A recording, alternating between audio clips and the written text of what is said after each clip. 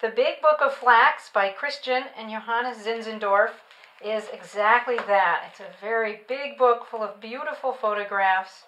In the back here, we see some modern flax equipment and then lots of folk culture, folk tales, interesting little anecdotes about flax, how to make a rope bed using flax rope, even some history of making rope, and some songs, and then, of course, clothing and other textiles made with flax, spinning equipment, beautiful, beautiful pictures here of processing equipment, hackles, and flax brakes, more songs, full of very interesting information, just really entertaining to read.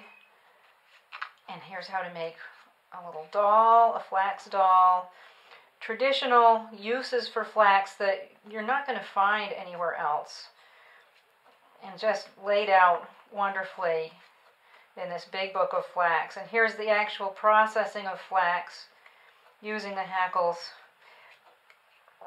and just tidbit after tidbit of information, as you can see by these beautiful photographs. These two guys have just put together a really nice book that I know you are going to enjoy. It's the Big Book of Flax.